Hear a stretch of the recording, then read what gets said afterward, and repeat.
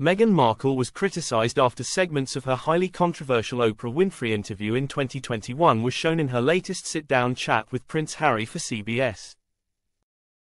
The Duke and Duchess of Sussex spoke on CBS's Sunday morning show with Jane Pauley and announced their latest project aimed at tackling child safety online and connecting families who have lost their children to suicide due to a lack of safeguarding online, the Parents Network, TPN. During the interview, segments of the Oprah interview were shown to the viewers, while Meghan talked about opening up on her own thoughts of self-harm during her time as a working member of the royal family. But a PR expert labeled the move risky as, while it could reignite interest in the couple's new project.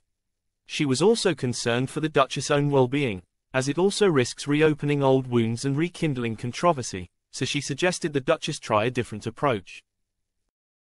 Renee Smith, founder and director of The Atticism, told Express.co.uk that bringing back the original Oprah interview, which is thought to have contributed to the Sussex's rift with the royals heavily, would most likely detract attention from the current initiative, TPN. She explained, revisiting segments of the Oprah interview is a risky move, and I certainly would not have advised it.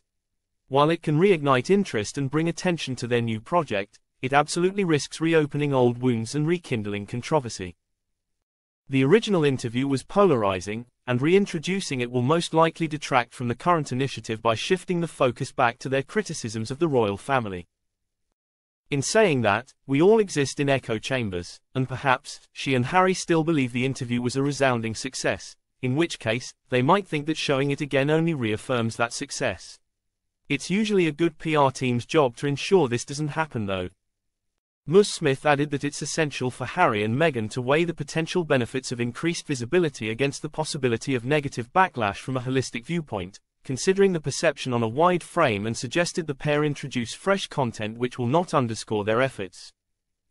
She concluded, I think it would have been more prudent to introduce fresh, forward-looking content that underscores their current efforts and achievements without harking back to past controversies. According to the Archewell Foundation, Harry and Meghan's charitable organization, the charity and the new network will work to unite and uplift parents and caregivers and systematically change the social media platforms and devices that create a harmful and dangerous environment for young people around the world. During CBS's interview, Ms. Pauley compared the anti-bullying initiative and the Duchess' own struggles with suicidal ideation. Meghan said that by sharing her own experience, she hopes that it might save someone or encourage someone in their life to really, genuinely check in on them and not assume that the appearance is good. At the time of the Oprah interview, the Duchess was heaped with praise for being so open and honest about her experiences. Zoe Clews, a trauma and anxiety specialist at Harley Street, London, told Express.co.uk at the time, I'm always humbled by the bravery of anyone who's prepared to talk openly about their experiences, especially ones that are as negative as those Meghan has encountered.